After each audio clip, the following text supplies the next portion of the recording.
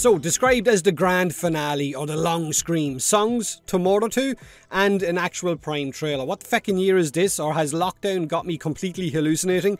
The Prime trailer this time around was pretty badass and the beat was great. The transition from CGI to gameplay was on point, but it wasn't realistic. You all know that this is how you will be playing Octavia. Invisible as feck while teabagging mid-air to get those buffs. You know it, right? Don't even lie. Don't even go there. Teabag Prime has arrived. Maybe that's why her Prime doesn't stand out visually as much from the normal Octavia because they all know that you will be invisible for most of the time. Of course, Octavia Prime comes complete with her signature weapons, the Tenora Prime rifle and the Pandero Prime pistol as well. The Pandero is easily one of my favourite sidearms in Warframe and has been for the longest time, so getting a buffed up Prime version of this is a really welcomed addition. More crit, more status, more overall damage, more fanning the hammer. Pandero Prime build, please.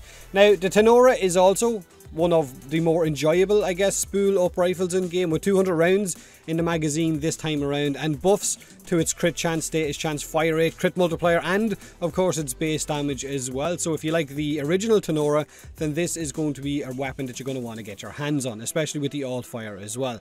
On top of that, using her signature weapons with Octavia Prime has kept the extra benefits, the same buffs that you get with normal Octavia from the signature weapons once she has them equipped for her. And they are headshot kills with the Tenora Prime when equipped with Octavia Prime has a 20% chance to refill your magazine and headshot kills with the Pandero Prime will increase your reload by 20% or has a chance to increase your reload by 20%. Now Octavia Prime comes with an extra 25 base shield and 25 extra energy as well as an extra D polarity. Octavia's prime effect is a rolling drum or wheel instead of her roly ball as her resonator. These are the relics you're also going to need to farm in order to get your hands on all of the weapon parts and Octavia Prime's parts as well, courtesy of Spreadsheet Dave. So happy hunting if you're going after all of the parts. On top of this, Octavia Prime has our very own primed Shawzin to jam out to the Aristei Prime Shawzin. So if you're into making music in Warframe, then this is definitely going to be for you. Now, like all Prime Access packs in Warframe, it's completely up to the user whether or not you choose to buy it or farm it, depending on, I guess, your time limitations with work, college, or whatever, or I guess your, your income.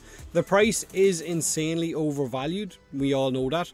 And I would always advise farming it over purchasing it. But you do you. Now that's Octavia Prime. That's how you farm all of her parts, the relics you're going to need. That's the items coming with her.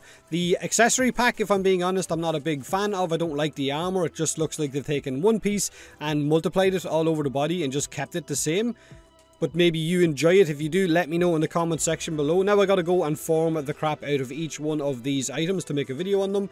Let me know what you think of the Axis, and as always, thanks for watching.